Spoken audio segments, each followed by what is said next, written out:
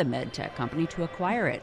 A truly outsized move around the session that was Fitbit, gaining about 15% in part on the positive comments of Citron Research. And overall, with stocks modestly higher and bonds down just slightly, the risk appetite in Monday's Wall Street session was just about neutral.